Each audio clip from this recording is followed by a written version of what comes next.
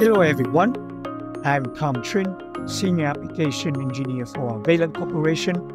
Today I will illustrate how to set up the Baumer Vision System smart camera using a VeriSens application suite. So what you see here is good cap that was twisted all the way down to the bottle. The idea is if there's any gap in between the cap and the bottle, it's a fail. So how do we set it up? First thing is we gonna click add here. Gonna select part location on contour. We're gonna click OK. And we're gonna draw a model. I'm gonna use this cap here as a model. I'm gonna select um, straight here so it's faster. I'm gonna name it the search area which is like so. I'm going to click teach. Okay. Test and make sure the coordinate is tracking wherever the cap move horizontally, which is great. So we have that.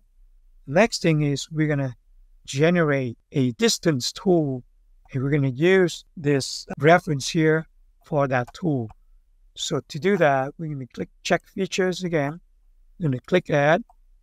I'm going to select geometry tab and select distance tool click OK. So at this point, I'm going to draw an arrow. I'm going to draw one more arrow.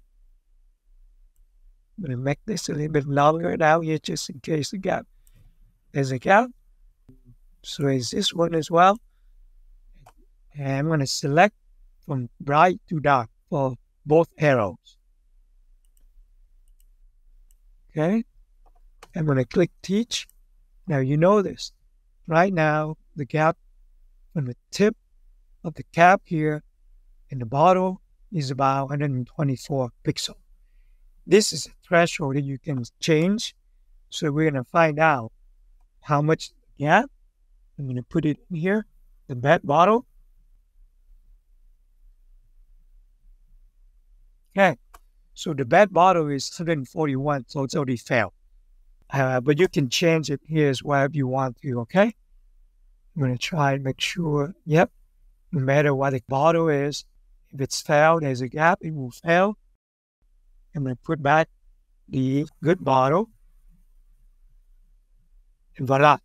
So that's how you set up the Baumer Vision System smart camera with the VeriSens application suite. If you have any questions, please call the number below.